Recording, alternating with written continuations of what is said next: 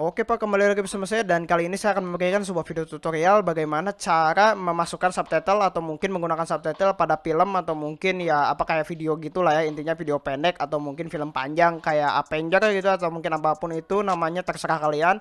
Sebenarnya gampang banget ya kalau misalnya kalian contohnya mendownload film yang yang bajakan gitu ya yang apa sih yang nggak kalian beli juga ya dan subtitlenya nggak ada atau mungkin kalian misalnya download Blu-ray dan nggak ada subtitlenya dan kalian tidak mengerti ya kalian bisa download subtitlenya tapi kalau misalnya kalian nggak tahu caranya sebenarnya caranya gampang banget kalian cukup uh, putar di uh, media player klasik ya kalau saya cobanya di media player klasik tapi kalau misalnya kalian mau nyoba di PLC juga nggak tahu saya cara masukin subtitlenya gimana tapi di sini saya menggunakan media player klasik ya sekali lagi saya menggunakan media player klasik Nah, di sini saya menggunakan contohnya untuk videonya. Di sini saya akan menggunakan hasil record di sini.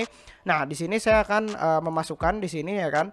Di sini kita akan buka video ya kan. Nah, cuman di sini untuk yang uh, media player ini, Windows Media Player ini nggak ada pilihan untuk masukin subtitle ya.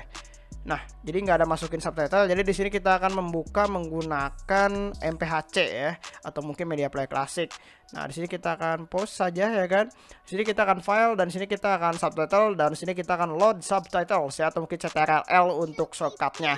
Di sini kita akan download dan di sini kita akan masukin file subtitle mana gitu ya atau mungkin kalian nyimpen file subtitlenya di itu di mana. Jadi jangan misalnya kalian download filmnya atau mungkin kalian memutar film Conjuring misalnya dan kalian menggunakan subtitle Avenger gitu ya nggak akan nyambung gitu ya. Jadi ya ya pastiin kalian menggunakan subtitle yang tepat gitu ya. Contohnya di sini dan sini kita akan open gitu ya. ini hanya sebagai contoh doang sih ya dari video yang kemarin juga dan di sini kita akan play mungkin ya ada nggak tuh ini cuma 9 detik pak eh ini subtitlenya kalau nggak salah saya input 12 detik gitu Nah, di sini kita akan melihat gitu ya. Di sini kita akan melihat di sini open with dan MPHC ya kan. Nah, di sini kita akan ke file, kita akan subtitles, load subtitles dan sini kita akan ke downloads, ke sub dan kita akan open ya. Sini kita akan 35 detik ya video ini dan subtitlenya akan muncul di menit 12. Nah, di sini subtitlenya ya, subtitle saya ini. Nah, jadi ini subtitle yang saya bikin dan nah di sini juga ada subtitlenya dan subtitlenya nanti akan muncul kok ya.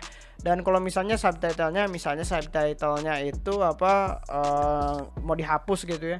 Cara menghapusnya gimana ya? Kayaknya cukup di exit aja ya di exit lalu kita buka lagi videonya tapi membukanya menggunakan MPHC ya open bed MPHC MPC sih MPHC beda ya sini kita akan menit 12 atau detik 12 dan nggak ada subtitlenya. Dan kalau misalnya mau dimasukin subtitlenya cukup file dan masukin subtitle dan load subtitle.